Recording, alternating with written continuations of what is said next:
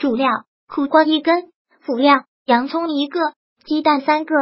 将准备好的苦瓜圈焯水，腌制好的洋葱丝打入鸡蛋，倒油，把苦瓜放进去，火候调小，倒入鸡蛋，中火慢煎。